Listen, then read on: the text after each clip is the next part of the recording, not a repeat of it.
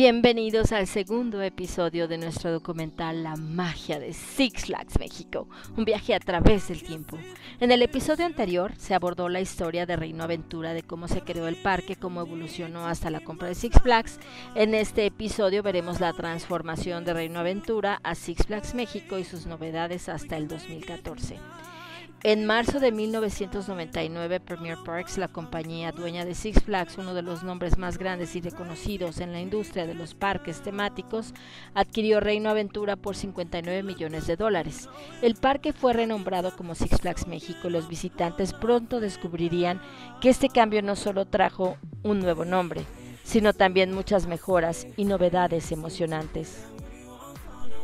Desde la adquisición, Six Flags México se han invertido 40 millones de dólares en las construcciones de 20 nuevas atracciones, la renovación al parque para su futura inauguración.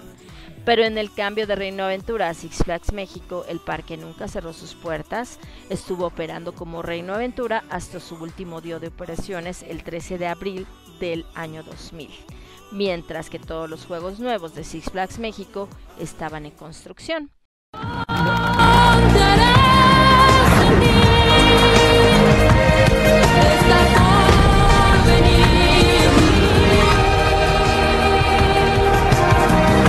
Una experiencia única está ocurriendo y no volverá a repetirse. Reino Aventura está transformándose en Six Flags, México.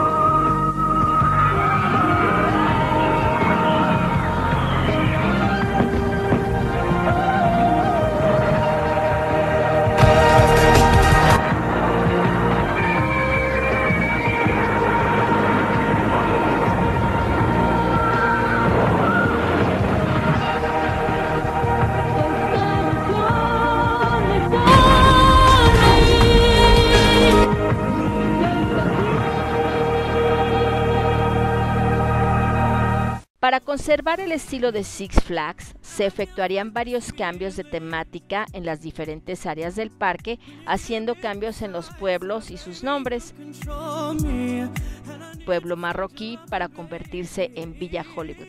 Los pueblos originales que se quedaron son pueblo mexicano, pueblo vaquero, pueblo francés, pueblo suizo y pueblo polinesio. También hubo cambios de nombres de varias atracciones de Reino Aventura, con la transformación a Six Flags México, el Globo Bobo a los globos de Elmer, que es una atracción de 1993, Reino Jet a Marvin el Marciano, aventura espacial, Barón Rojo a la escuela de vuelo de San Bigotes, las minimotos, el trenecito las horquitas que bueno, ya no están. Como olvidarlo, Moisés Félix Sangri tenía dos mesecitos de nacido y ahí estaba subiéndose a todo lo que se podía en mis brazos.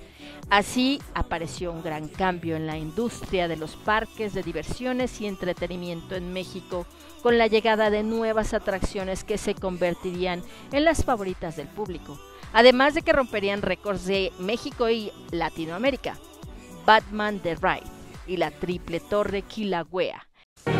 Ahora Batman regresa en un vuelo impresionante. 500 toneladas de acero suspendido invadiendo el cielo de la ciudad. En una montaña rusa que amenaza sorprendente desde lo alto. Siente la adrenalina. Vive la leyenda. Móntate al cielo en Batman The Ride en Six Flags México. También llegaron a Six Flags México 20 atracciones nuevas. Voodoo, Roller Coaster Junior, conocido como Zapatito, Catapulta, Curandero, Piñas Locas.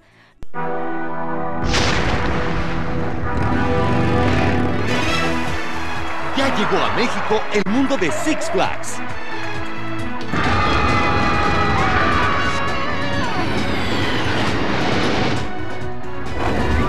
Vive la diversión y todas las emociones que podrás encontrar en los mejores espectáculos y atracciones de México. La diversión ya está aquí. Six Flags México. También recibió al teatro más grande del parque, el Teatro Chino, que presentó excelentes espectáculos a nivel internacional, realmente inolvidables. Dos meses más tarde abriría sus puertas la montaña rusa Medusa, Ahora en Six Flags México, Medusa, un monstruo inmortal con cabellos de serpiente entrelazados en el viaje más espeluznante. Cada caída congela tu sangre. Siente el cascabeleo de esta poderosa montaña rusa. Medusa, no mires hacia abajo. Puedes convertirte en piedra. Iremos con, un- con una entrevista con Alex Mancha, visitante de Reino Aventura, a quien le tocó varios de los cambios del parque no, no había tanto, pues de hecho no había redes sociales, no había nada. Entonces, sabía yo que era una empresa importante, que era una empresa como del tipo de, de Disney, era lo que yo sabía y todo, y me emocionaba justamente por los anuncios que habían hecho de las atracciones que iban a llegar. ¿Qué fue no- no Batman The Ride? Medusa. Medusa. Aunque Medusa no abrió el día de la, del, No, tardó. de la tardó bastante Abrió tiempo. después. Como No, mm, es- dos Batman meses. también, ¿no? No, Batman se abrió. Batman, abrió, sí. Hay una Batman placa. mismo día. En el parque hay una placa. Batman abrió el mismo día. No sé si sigue esta Fue- placa. Y había una fila que daba hasta la entrada. Todo transcurría normal y genial en Six Flags México hasta el 2002, que Story decidió adquirir para Six Flags México una nueva montaña rusa DH Morgan. El modelo sería Hypercoaster, con la temática del superhéroe de DC Comics, Superman, nombrada como Superman el último escape, que para mí es mi super favorita, con todo y mis 55 años aún sigo sirviéndome y me sigo disfrutando las caídas verticales de más de 90 kilómetros por hora. Sin duda, tan icónica, donde el reconocido Milton Garduño, creador del desaparecido Club de Montañas Rusas de México, y su ahora esposa Luisa se declararon su amor eterno. ¡Ay, qué bonito! Ok, durante la construcción tuvieron problemas con el entonces gobierno del Distrito Federal, que se detuvo por dos años. Finalmente, en el verano del 2004, continuó la construcción de esta montaña rusa y finalmente en noviembre de 2004 abrió sus puertas al público.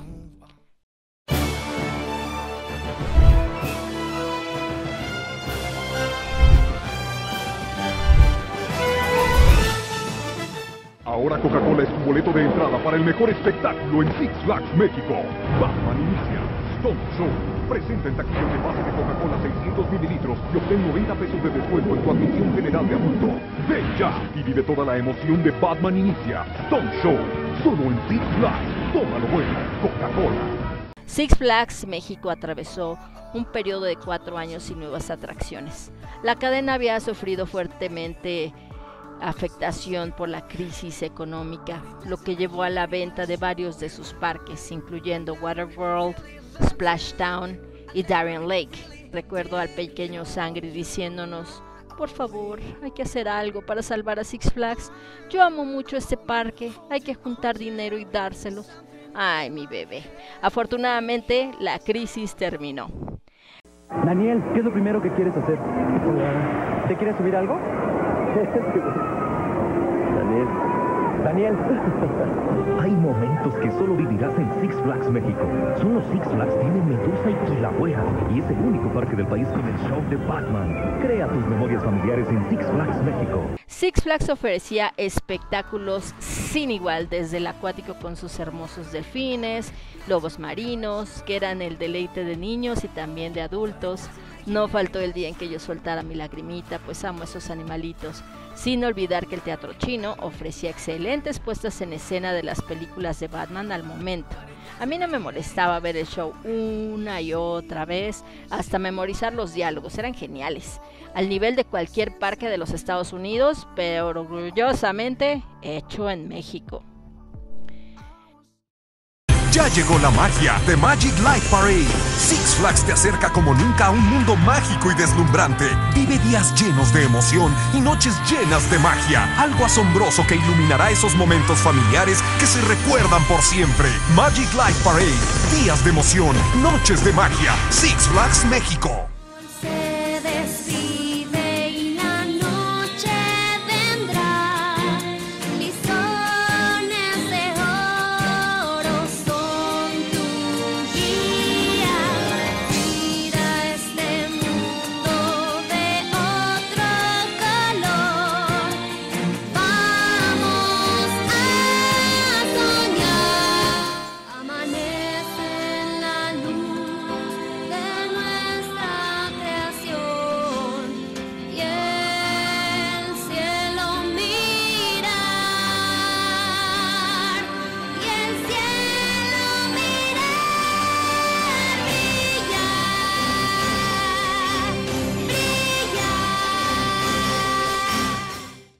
En el año 2009, Six Flags México presentó su nueva atracción, la montaña rusa de Dark Knight Coaster, la cual reemplazaría al anterior tren de Santa Fe, ubicada en la entrada de la zona temática donde antes estaba el Expreso Santa Fe, un trenecito que recorría gran parte del parque.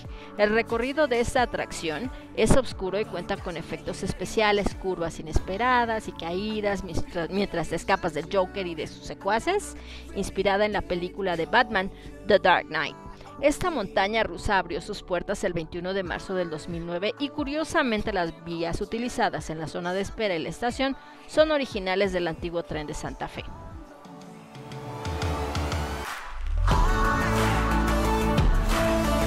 Six Flags México no solo ofrece emociones extremas y familiares, sino que también eventos especiales que los visitantes pueden disfrutar durante todo el año.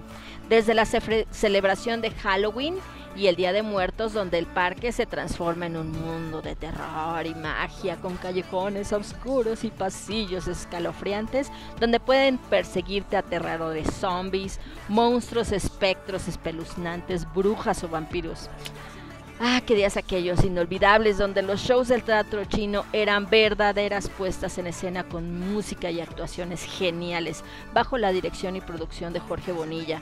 El audio del parque por muchos años a cargo de nuestro amigo el Rub o Rubén, el maestro del audiovisual del parque. Todo era magia, subir al glorioso Superman y ver el parque solo iluminado por luces rojas que parecían flamas y el encanto del humo de las máquinas de niebla artificial, hasta la mágica experiencia navideña. Six Flags México ofrece algo para todos los gustos y todas las edades. En el 2012, Six Flags México presentó dos nuevos festivales emocionantes para los visitantes. El Festival de Terror ofreció una experiencia única y aterradora con nuevas atracciones y espectáculos de diferentes niveles de intensidad. Del 5 de octubre al 4 de noviembre, los visitantes pudieron disfrutar de cinco atracciones escalofriantes. Monster Circus, Pantano Swample, Valaquia, La Carnicería y Vampire Infestation. Realmente geniales. fantasmas, zombies y cualquier personaje que sus miedos les permite imaginar, la acompañarán para mostrarles que sus sospechas eran ciertas. En efecto, el terror se ha apoderado de Six Flags México. Ha llegado por primera vez a México la celebración más escabrosa que hayan conocido. Festival del Terror.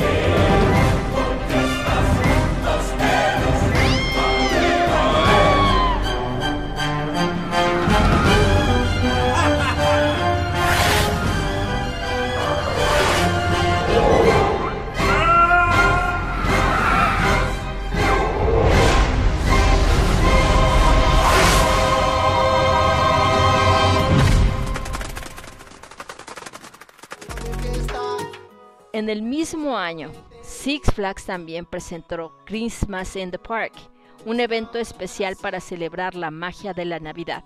El parque se llenó de adornos navideños, luces y esculturas luminosas, creando un ambiente mágico para que los visitantes disfrutaran en familia. Este evento se ha convertido en una de las tradiciones más queridas de Six Flags México, donde los visitantes pueden experimentar la alegría de la temporada navideña. Thank you.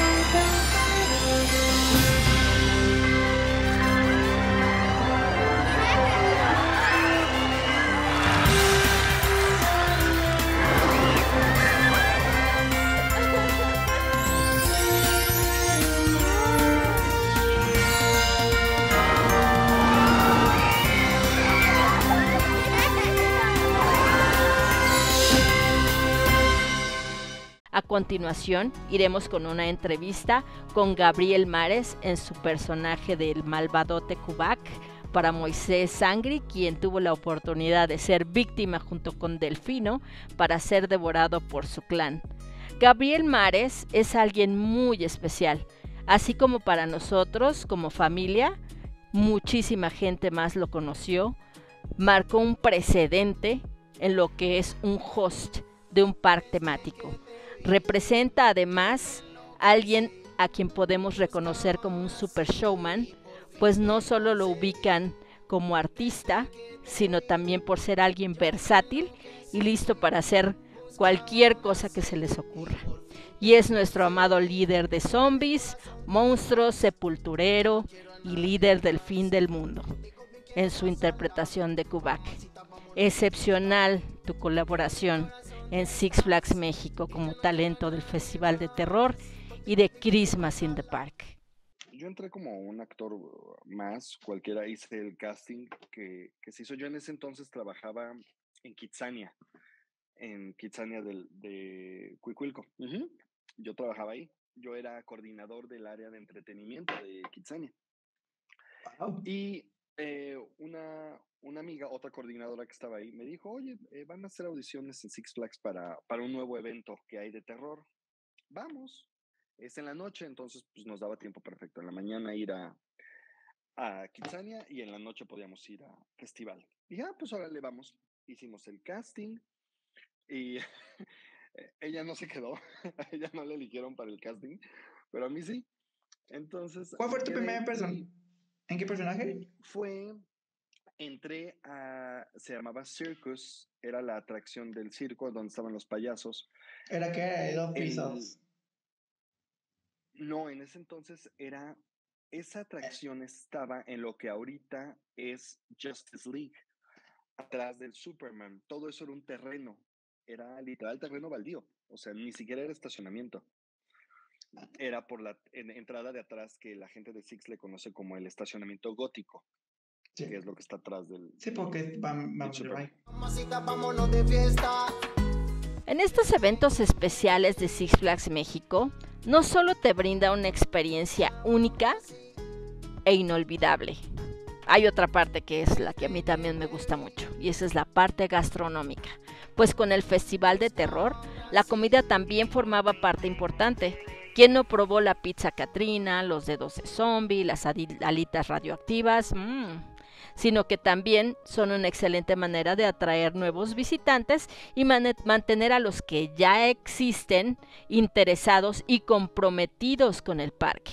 Sangri lleva sus 23 añitos de vida más que comprometido. En septiembre del 2012, Six Flags México anunció una nueva atracción que llegaría al parque al siguiente año. Esta atracción prometía llevar la emoción de las montañas rusas a un nuevo nivel y estaba tematizada en uno de los villanos más icónicos de DC Comics, The Joker.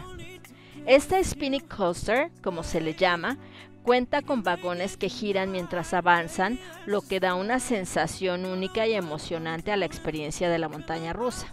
A pesar de ser anunciada como una nueva atracción, esta montaña rusa en realidad fue ubicada desde el parque de diversiones Six Flags Discovery Kingdom, donde era conocida como Pandemonium.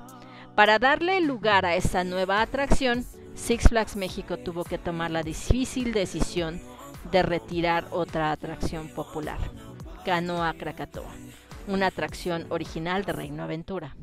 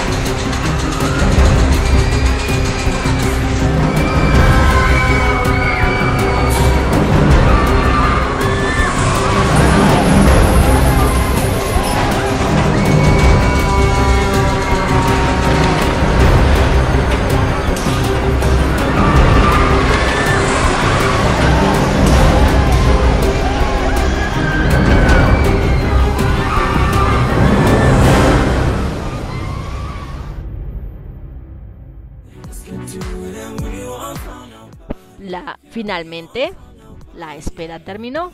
El Joker se inauguró el 7 de marzo del 2013.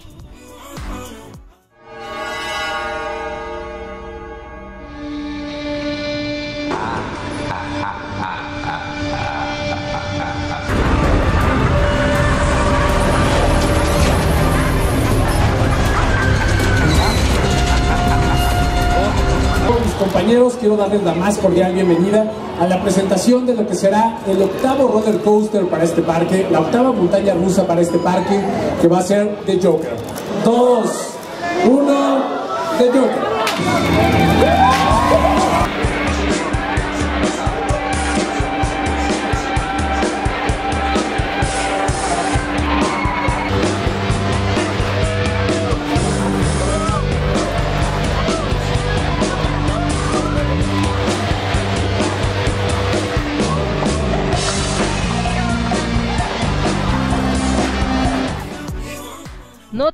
El 2013 fue de pura diversión y felicidad, ya que una noticia impactó a los fanáticos de las montañas rusas en México, después de que por muchos años proporcionara emoción y aventuras a miles de visitantes. La famosa montaña rusa de madera Medusa cerró sus puertas para siempre. Esto fue un gran golpe para los entusiastas de las montañas rusas, ya que Medusa era considerada una de las atracciones más icónicas y populares del Parque Six Flags México. Con su cierre, solo quedaba una montaña rusa de madera en todo México, en la feria de Chapultepec. Y bueno, pues ya estamos preparándonos para la última vuelta de Medusa. Como les voy a mostrar, ya está la estación lista. Ya no hay nadie aquí en la zona Q. Vamos a entrar a la última vuelta de Medusa. Adiós, Medusa.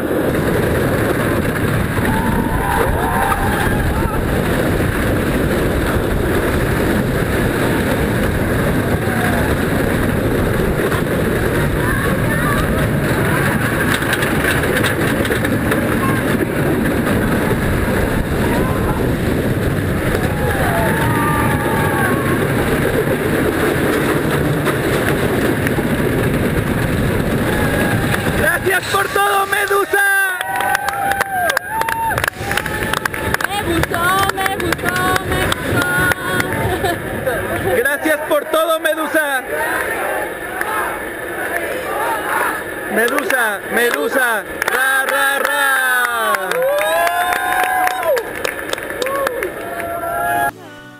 Llegó el 18 de agosto del 2013 y a las 20 horas con 13 minutos salió de la estación el último tren de Medusa. Los visitantes se reunieron en la salida despidiéndose de la icónica atracción mientras las luces se apagaban y la montaña rusa se sumergía en la oscuridad. Parecía que el legado de Medusa había llegado a su fin, pero la historia de las montañas rusas en México estaba lejos de terminar. En febrero del 2014 se anunció que una nueva atracción llegaría al Parque Six Flags México para re- reemplazar a la querida Medusa. Medusa Steel Coaster es la nueva atracción que promete llevar la emoción de las montañas rusas a un nuevo nivel, con una estructura de acero de 57 metros de altura y una velocidad máxima de 93.3 kilómetros por hora, con tres inversiones, siendo única en su tipo en México y Latinoamérica.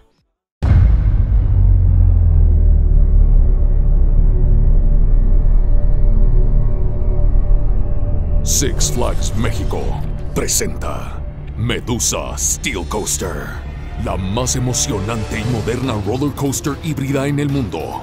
El alma de una montaña rusa de madera con corazón de acero. Nueva, más rápida, más suave.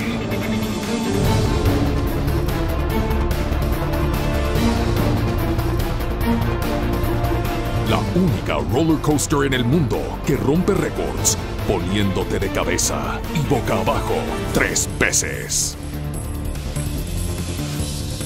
Alcanzando una velocidad de hasta 112 kilómetros por hora, con una vertiginosa caída de 30 metros.